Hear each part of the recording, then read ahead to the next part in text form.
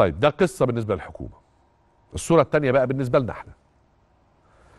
أنا عارف إنه ألو... الصورة اللي أنا هوريها لكم دلوقتي أو الفيديو اللي أنا هوريه لكم دلوقتي وقت اللا حظر يعني قبل الحظر وقت التجول العادي. فبالقانون ما عليكش حاجة. بالقانون أنت كمواطن ما عليكش حاجة. لكن بالخطر عليك كل حاجة. عليك كل حاجة. لأنه ما ينفعش نبقى إحنا عاملين حظر 11 ساعة بالليل عشان الناس ما تلمس بعض وما تقربش من بعض وما تختلطش مع بعض. ويبقى بالنهار الصورة كده. الصورة كده بتاعت الفيديو بتاعت المترو اللي هوريها لكم دلوقتي.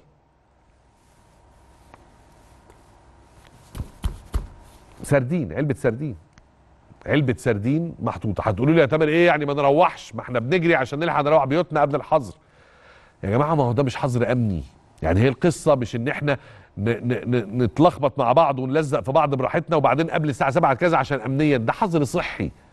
حظر صحي معناه إن في اشتراطات صحية هي اللي إحنا عايزين نوصل لها. فلو ما اتحققتش يبقى ملوش لازمة. فأنا يا فرحتي وأنت قاعد بالليل في البيت لكن بالنهار ملزق كده مع الناس. عربية المترو فيها خمسين نفر. بصوا حضراتكم الصورة.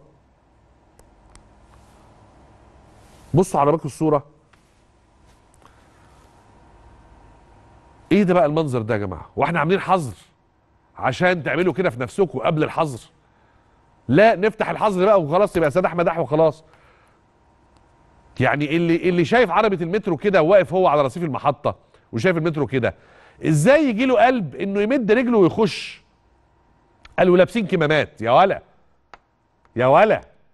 شوف النباهة ما إحنا قلنا خمسين مرة.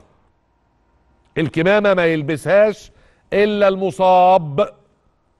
الكمامة ما يلبسهاش إلا اللي بعد الشر مصاب بالفيروس. لكن الكمامة ما بتحمكش من الإصابة بالفيروس لأنه بتيجي باللمس. فشوف حضرتك اللي لابس كمامة. لامس كام واحد في الفيديو ده؟ لامس كام واحد في العربية؟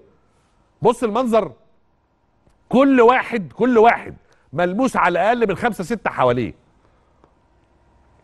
واحد أهو يا عيني كبير السن حاطط الجردان على بقه والتاني ورا آه، مش عارف بيعمل إيه والتاني يعني يا جماعة طب هو إيه الحكمة؟